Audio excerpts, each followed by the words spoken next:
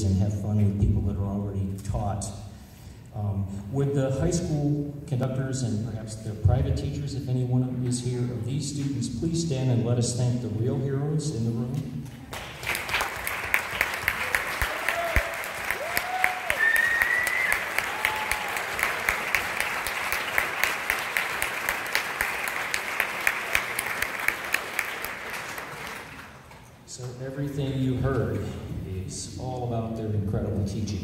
You guys literally are an oasis in the desert out here in terms of music.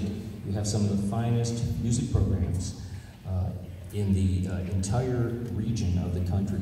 So cherish that and support that. And if anyone challenges supporting that, you know what to do. Okay, uh, we will continue now with Vesuvius.